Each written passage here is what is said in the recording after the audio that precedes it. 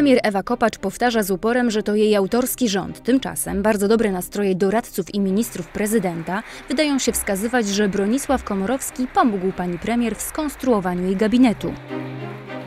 Taki kierunek decyzji rządowej, która powierza ministrowi obrony narodowej funkcję wicepremiera, doskonale ułatwi budowę tego zintegrowanego systemu bezpieczeństwa narodowego. Mam taką nadzieję. Opinie nie tylko polityków Prawa i Sprawiedliwości, Sojuszu Lewicy Demokratycznej czy Twojego ruchu nie są dla nowych twarzy w rządzie zbyt korzystne. Żadna z tych osób nie ma żadnych kompetencji do zajmowania ich tych rzeczy, które im przypadły. Kompletnym zaskoczeniem dla wszystkich od prawa do lewa były nominacje dwóch pań. Teresy Piotrowskiej na stanowisko ministra spraw wewnętrznych i Marii Wasiak na stanowisko ministra infrastruktury i rozwoju. To są dwie anonimowe osoby, natomiast resorty są super ważne, bo w jednym resorcie to jest nadzór nad e, służbami, zarówno mundurowymi, jak i specjalnymi, a w drugim to jest nadzór nad olbrzymimi pieniędzmi, które przychodzą z Unii Europejskiej. Można mieć znaki zapytania co do y, ich kompetencji, co do ich doświadczenia, co do ich możliwości ogarnięcia tych resortów.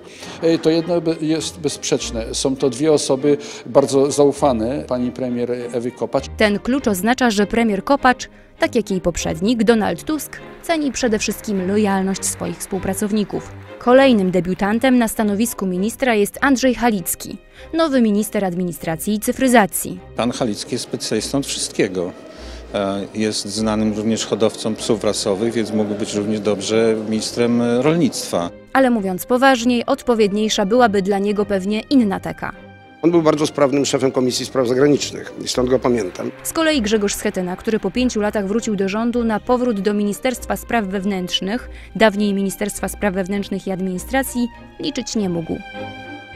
Za szybko mógłby odbudować swoje wpływy, szczególnie w terenie i Ministerstwo Spraw Zagranicznych nie jest ministerstwem jego marzeń. ale mimo wszystko wydaje się być zadowolony. I co w świetle wielu spekulacji warto podkreślić, zna język angielski zdecydowanie lepiej niż sam Donald Tusk. Do rządu po trzech latach niebytu powrócił też Cezary Grabarczyk. No zawsze miał takie marzenie, jak mówił, żeby być ministrem sprawiedliwości. Marzenia są po to, żeby je spełniać. Niektórzy marzą o skoku ze spadochronem, nurkowaniu w morzu, a niektórzy właśnie o tym, żeby być ministrem sprawiedliwości. A do tego oczywiście y, pana ministra kompetencje uprawniają takie jak wykształcenie prawnicze. Jedno się pani premier Kopacz udało na pewno. Tak to wszystko poukładać w rządzie, żeby każda frakcja była zadowolona i żeby każdy dostał swój kawałek tortu.